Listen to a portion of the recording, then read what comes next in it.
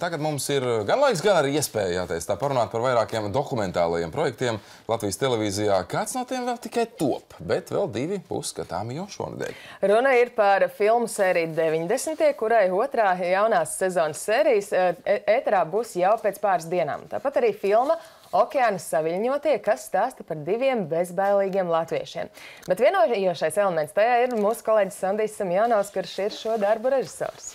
Labrīt! Labrīt! Labrīt, labrīt. Um, Labrīt. Tieši braucu uz uh, televīziju un domāju, ak, tik agri jāatcerās, ja tā būtu katru dienu, tas noteikti nebūtu. Bet ir viens pluss, nav uh, sastrēguma. Tas ir pluss, jā. Bet es saprotu, ka tā iedvesma ir uz tā rēķina, ka tu vēl tā guli jau Nē, parasti nu, jau jā, es- mākslinieki.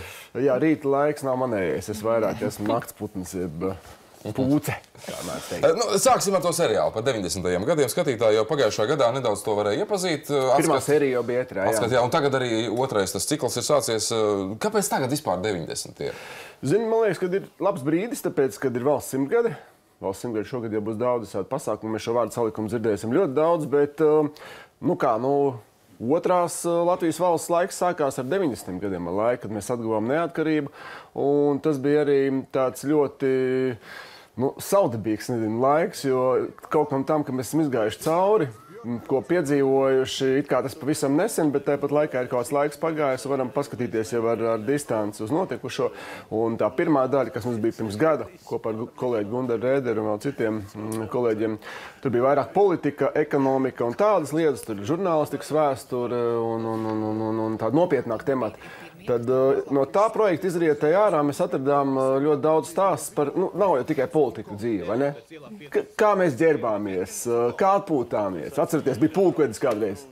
Nu, labākā vieta Jā, Rīgā. labākā vieta, kur atpūtāmies. Slepenais eksperiments, daudz tādas bija vietas. pingvīnu saldējums, ko es redzēju. Pingvīna saldējums bija jā, sadzīvē tieši tā, un, un, un tāpēc paskatījāmies tehnoloģijas. Viena sērija būs par tehnoloģijām, viena par sportu, um, viena būs par kino, viena par sadzīvi, un, uh, te uzreiz nepateikšu no galvas, vēl viena sērija. Par tehnoloģijām tu vari par- pateikt par divos reklāmu, vārdos par vairāk. reklāmu. Par reklāmu. Tehnoloģijas būs tagad tā sērija, kas būs 4. janvārī. Ja Nākamā sērijā par tehnoloģiju un tur es domāju, Pirmie mobilie. tie, kas, protams, Pageri. Pageri. Pageri, mobīlie un, un, un, un, un man, man liekas, mūsdienu paudze jau nu, pēdējos, pirms desmit gadiem tikai ievies skārienu jūtīgos telefonus. Pirms tam jau fu, bija tikai podziņas. Un, ja tev varēja sasniegt ar pēģeri vai ar tas pats, atceros, tepat Latvijas televīzijā bija, man liekas, viens tas koferis. Un tad nu, bija diezgan liela.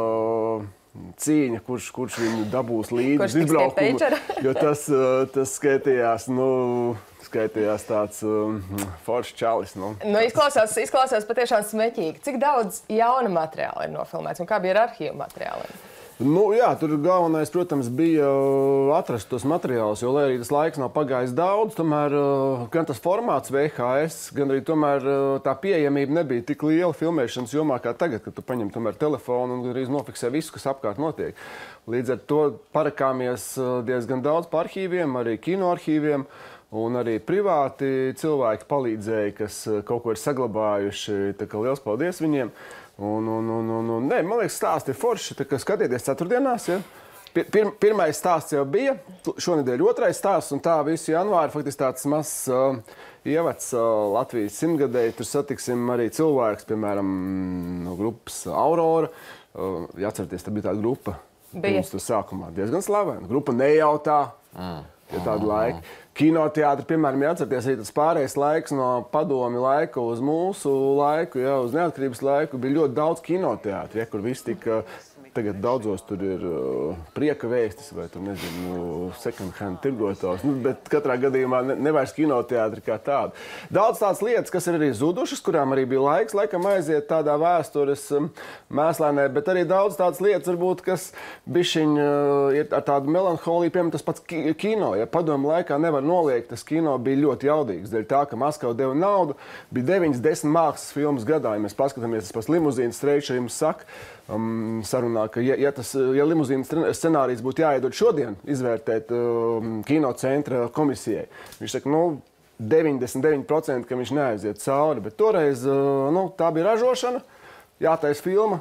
Taisam, un tad jau tur uz vietas, kā saka, aizkumā, tur jau, kā saka, pieskaņot tur, tur, tur to, to filmu. Tad 4. janvārī nākamā sērija atgādinām, ka mūsu mājaslapā, Latvijas televīzijas mājaslapā un Replay LSMLV var arī noskatīties jau pirmo sēriju, kas ir pagājušā nedēļā bijusi ēterā, bet vēl par kādu projektu runājot, kas arī tajā pašā 4. janvārī ēterā ieraudzīs. Tā ir sakritis. Okeāna saviļņotie. Okeāna saviļņotie, jā, šis te stāsts dokumentāls stāsts par diviem latviešiem, kas pārceļoja pāri okeānam airu laivā. Mm -hmm. Jā. Tu taču nebija starp viņiem kā trešais. Tas nozīmē, Jā, ka tu strādāji ar viņu ir, faktiski filmēto materiālu. Šis ir viens no, no jautājumiem, viens no absurdākajiem jautājumiem. Viņš nav bijis bieži, bet uh, šeit man ir pajautājuši, nu, kā tad jūs, jūs tad ar to otru laivu braucāt? Vai, saku, ne, diemžēl, vai, vai, vai, vai par laimi mēs, uh, mēs, mēs tikai, kā sakam, Paldies Kārlim Bardelim par uzticību. Um, viņi paši filmēja ar GoPro kamerām, vairāk vai mazāk visu to notiekošo. Lai arī, protams, dažas epizodes ir pašās beigās, ka viņi vairs netika krastā un tur sākās tāda, tā saka, nu, savstarpēja diskusija, kad, uh, ko tagad darīt, padoties un savu glābējus vai, vai tomēr cīnīties līdz galam. Nu, tā, tā, tāds brīdis nav nofilmēts, bet Kārlis arī teica, ka tā, tā saruna ir tāda, ka nu, tu biji ar notu biji, un tad tajā brīdī, protams, nelīdz kamerai. Bet to sajūtu var dabūt, un um, filma bija gada vidū, bija kinoteātros, gada beigās bija mm, dažādos kinofestivālos uh, piedzīvojumu un ceļojumu filmu pa pasauli Marokā, Kapverdē, mm, Skotijā. Nu, tagad uh, lielā Latvijas televīzijas um, pirmizrāde šonadēļ. Nepalaidiet garām, jo šis tiešām ir tāds unikāls stāsts cepurnos ceļiem. Uh, nu, tā ir tāda uzdrīkstēšanās, uh, iz, iziešana ārpus komforta zonas. Un, uh, Tas nu, ir tur, daudz vairāk nekā ārpus komforta. Jā, zonas, jā un tomēr nu, tas arī tāds unikāls stāsts savā ziņā. To pirmie arī latvieši, kas to paveikuši, tādā ziņā cepurnos. Un uh, Kārlis, viņ, viņam, viņam ceļošana ir sirdī un asinīs, tikai sveiciens no Kārli. Paldies arī viņam, ka viņš uzticēja šo materiālu. Un katrā gadījumā tie cilvēki, kas redzējuši kino versiju, ja, um, nu, visi saka, ka beigās kāda asara nobirst. Ja, pie, piedzīvojums, pārdzīvojums ir ceturtdien pēc panorāmas. Un uh, vēl ir kāda filma tapšanas procesā par dziedātāju, aktrisi, par spilgtu leģendāru personību. Par, uh, no... Tapšanas procesā ir daudz filmu. Šī arī jā, šī viena, ir viena, viena no. Viena no jā. Cik vispār filmas reizē var menedžēt cilvēks, kas ir saistīts ar filmu veidošanu, kā tu režijas vai pat producentu arī statusā? Nu, Cik tad reizē? Tu pie desmit. Tu pie desmit vienlaicīgi. Tu taču vari iemontēt kaut ko nepareizi. kaut ko nepareizā vietā. Jā. Nu, jā, tāpēc ir kaut kāda disciplīna vajadzīga.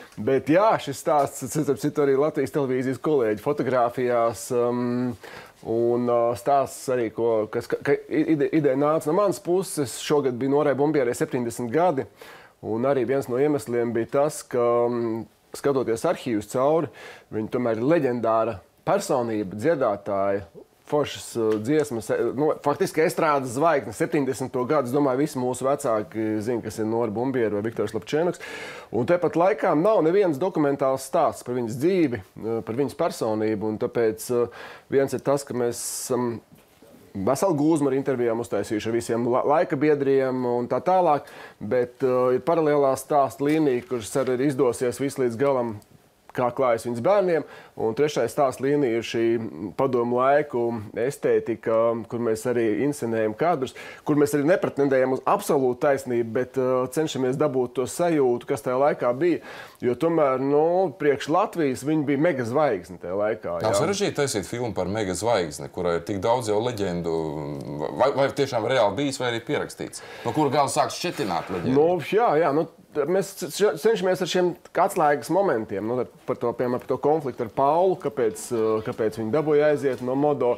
Un tur ļoti daudz interesantu sadzīvisku stāstu. Zigmārs stāsta, kā viņi braukuši ar autobusu, ar autobusu spēlēt apkārt pa Latviju, pa kolhoziem, un kā Pauls esot uh, honorārs dalījis. Tur, un, Un, un, un vienmēr bija klāti galdi, un tad muzikanti ņēmuši līdzi um, somas, jo vienmēr jāparūpējas bija par mainiekiem vai par studentiem kojās. Un, Un, nu, daudz interesanti tādi stāsti, vairāk atklāt viņas personību, kas stāv aiz tā visa. Un, un, jo viņai bija traģisks liktenis arī. Un, un noteikti daudz dzirdējuši un zina to. Un to arī izstāstīsim filmā. Un arī no kurienes nāk šī unikālā balss. Jo Ir, ir kompozīcijas, kuras vēl šodien ieslēdzot, nezinu, tieši lietus vai, vai, vai dūdiemiņu, šimanta kalniņu, vai paulu dziesmas, tur mēmā dziesmas. Nu, tās ir fantastisks, unikāls dziesmas, un tu ieslēdz, un tu nekad nesajauksi ar bumbieras balsi. Protams, pirmais bija tā balss, bet arī viss tas, kā viņi prata to pašu ķiršu lietu. Zigmārs jau bija uztaisījis savādāk, kā viņi prata ar savu to muzikalitāti un vitalitāti pagriezt tā, kā vajag. Nu, nu, tad, kad tā balss atskanējusi koncertos, tad uh, tie klātesošie saka, nu, tad, tad, nu, tas dzirdi, kad ir. ir jā. Kad, kad filma gaidām? Jā, pavasarī gaidām. Mēs plānojam arī parādīt um, lielākajās Latvijas pilsētās, un tad uh, kaut kad vēlāk arī, kad pienāks brīdis arī Latvijas televīzijā.